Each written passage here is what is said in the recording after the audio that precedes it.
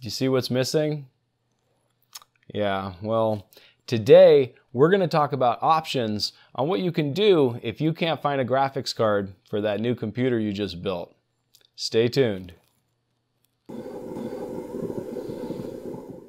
Oh, man. So, I'm sure many of you are suffering from the same problem. You just built a system and you have no graphics card to put in it. And unfortunately, you're not alone. There's thousands of people that are suffering from exactly the same problem right now. Graphics cards simply are hard to come by right now. However, is that really true? I mean, are graphics cards really that hard to come by? I mean, today you can buy a 3080 or 3090 you're just gonna pay three times MSRP. And honestly, that's not a great solution. And it's also a solution that I don't recommend doing. I did a video a while back where I go through the problem of why we're in a graphics card shortage right now. And I'll go ahead and tag that video right here. And the biggest complaint that I got from that video is that I didn't give any solutions to the issue. And honestly, the reason why I didn't give any solutions is because there really aren't very many good solutions. In fact, there are no good solutions to the problem. Aside from the tier systems and the lottery systems that some sellers are starting to implement, we really don't have any good solutions to this issue right now because the problem isn't really a graphics card shortage as much as it's a graphics card shortage at MSRP. I mean, you can buy these cards, like I said before, you can go to eBay and pay three times MSRP and just embolden scalpers to go buy more cards in order to sell them on eBay. Or there's other things that people have been doing too, like for instance, it's getting really popular nowadays to go and buy pre-built systems just for their graphics graphics card. And honestly, that sounds extreme, but it's really not as extreme as it sounds, you know, because if you if, if you have to pay three times MSRP on eBay in order to buy one of these cards, however, you can buy a pre-built for cheaper, then just buy the pre-built. You can sell off all the pieces for the system and keep the graphics card for yourself. That's actually a viable solution. You can also troll Craigslist and Facebook Marketplace and see if you can find a used computer that has a 10 or 20 series card in it that you can use in your gaming system. A lot of those cards are still really viable for gaming nowadays. In fact, their prices have skyrocketed too lately. So if you find a used system, hopefully the price isn't too bad. What I'm going to go over today is I'm going to go over a little bit of an unorthodox solution to this problem. And this is a temporary solution. However, I think it's a pretty good solution that not a lot of people have talked about. And that is using an APU to play games. Now, if you built an AM4 based system, then you have the option to actually pick up a Ryzen APU and game on that. And that sounds really bad. I mean, we don't use APUs for gaming. We use those in grandma's system, right? However, APUs, especially AMD's Ryzen APUs, have actually gotten pretty good.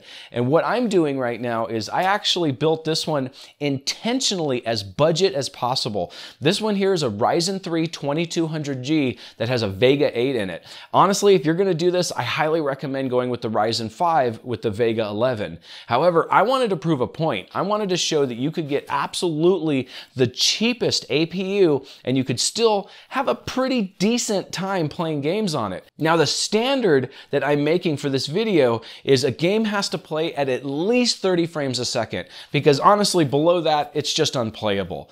And I was able to actually achieve that with all the games that I tried and Kind of. And I'll go ahead and show you.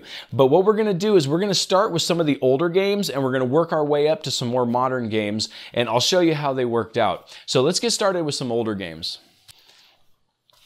All right, real quick before we get into gameplay, I just wanted to go over the system specs on this real quick.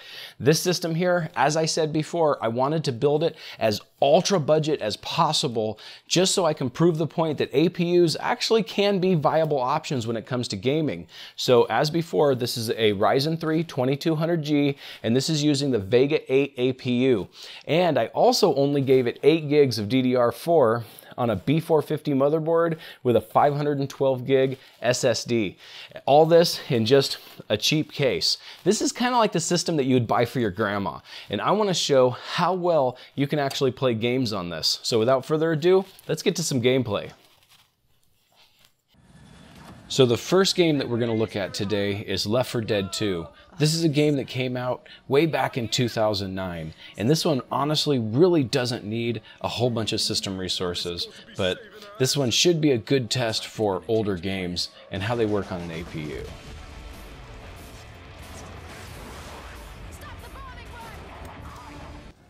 This game consistently ran at 60 frames a second. This is running an all defaults. I didn't change any of the settings. It's running at 1080p. The gameplay was extremely smooth and I have honestly no complaints at all with how well it played. You should be able to play this game for hours without even realizing that you're on an APU. Unfortunately, that is if you can keep yourself alive.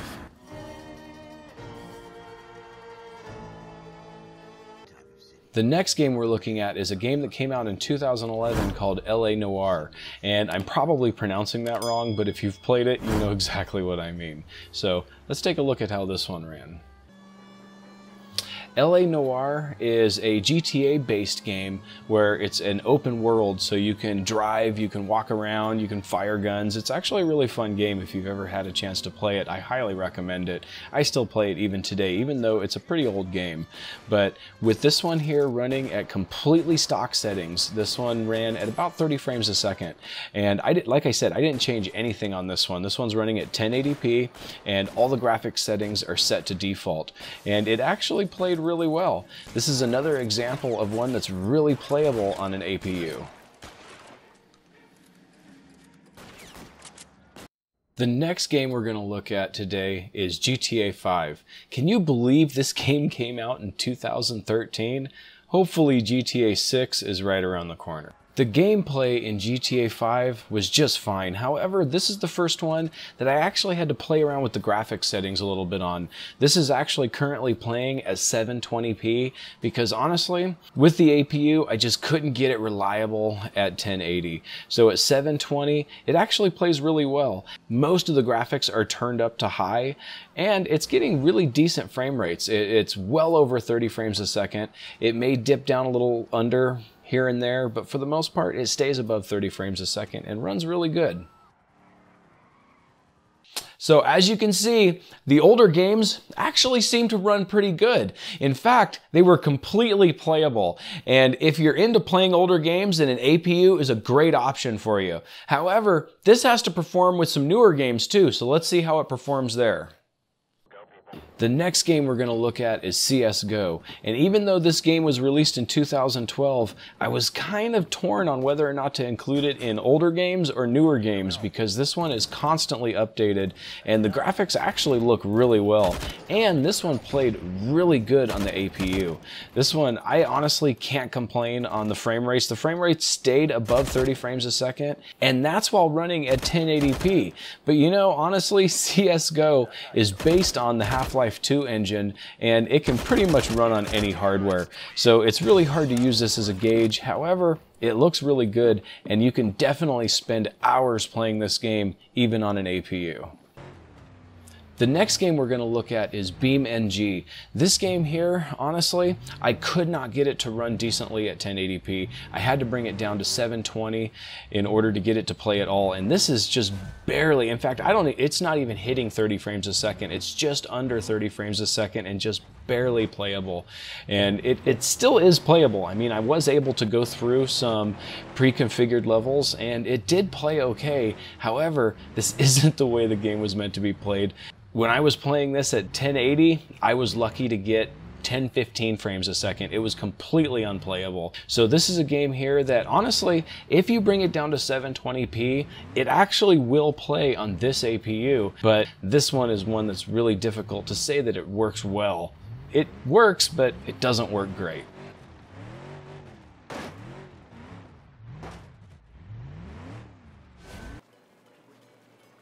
The last game that we're going to look at today is Shadow of the Tomb Raider. This is the one that I had the most difficulty getting to run over 30 frames a second. It definitely will not run on default settings. I had to bring this one all the way down to 720p and I also had to turn the graphics settings all the way down to ultra low. But honestly, this is such a gorgeous game that even with the graphics settings set to this low of a setting, it still looked amazing. And the frames per second actually were over 30 frames a second. It ran better than Beam BeamNG did, and honestly, it was very playable. This video here is actually just going through one of the benchmarks so I can actually kind of see what the frames per second were. However, the quality on this game is just immaculate, and the fact that it can be played at all on an APU is actually kind of impressive. And then keep in mind that this right here is a Ryzen 3 with a Vega 8 APU. So if you were to actually play this game on the Vega 11, you should actually get better results than I'm getting with this one. And based on what hardware that you're using, you should all around be able to get better results with the APU than I'm doing. Like I said, this system was built specifically to be ultra low end.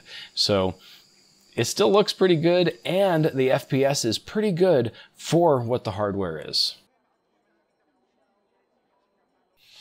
So as you can see, the new games didn't play anywhere near as good as the older games did. However, we were able to at least get them playable. And, you know, that's saying a lot, especially for a Vega 8.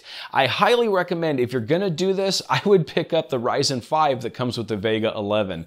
It would have been a much better test. However, I wanted to prove a point using the cheapest processor I could possibly get.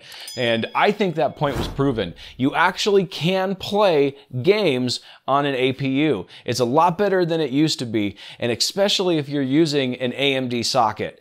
If you're using the AM4 socket and you already have a system built, rather than letting it just sit there and collect dust, you might as well pull your processor out, Pick yourself up a cheap APU and at least enjoy your system for a little while until graphics cards come back into stock. So hopefully this video was helpful to you. If it was, then please hit the like button. And don't forget to subscribe to my channel. And hit that bell icon so you can be notified of future videos. I do a new video every week. And hey, before you go, check out a couple of these videos. Have a great day.